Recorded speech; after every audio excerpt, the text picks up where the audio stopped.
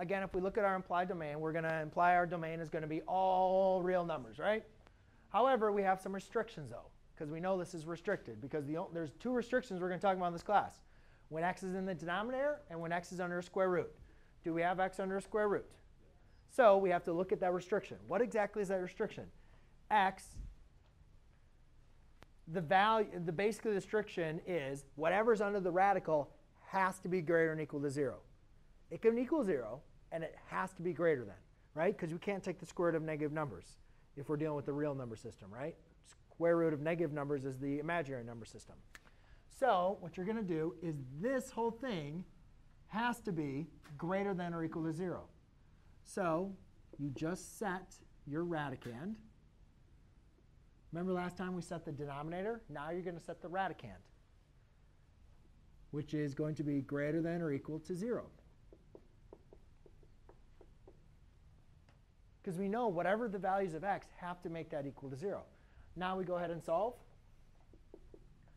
I'm going to use inverse operations on this one because I want to remind you of something. What happens when we divide by a negative number with inequalities?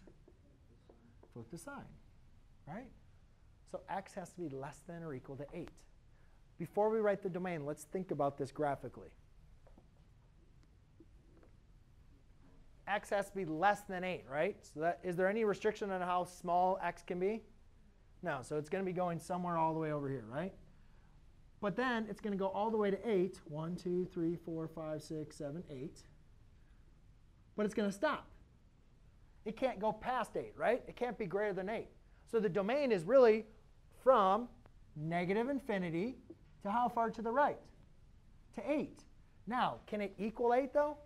Yes. Since it can equal 8, we use a bracket. It can't equal negative infinity, so that's still a parenthesis.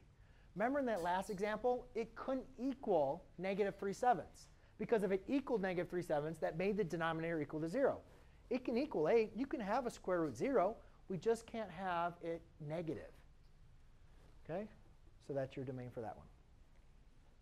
So why don't you guys just give a shot for those four examples.